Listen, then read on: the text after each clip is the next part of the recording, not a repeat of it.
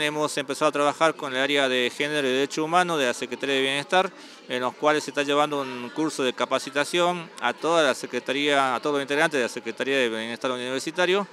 y donde están trabajando sobre la perspectiva de género. Es la primera vez eh, que se realiza dentro de la Secretaría y también estamos llevando adelante esta capacitación debido a que no somos ajenos a todas las situaciones que están ocurriendo a nivel nacional, por lo cual es necesario de que todos los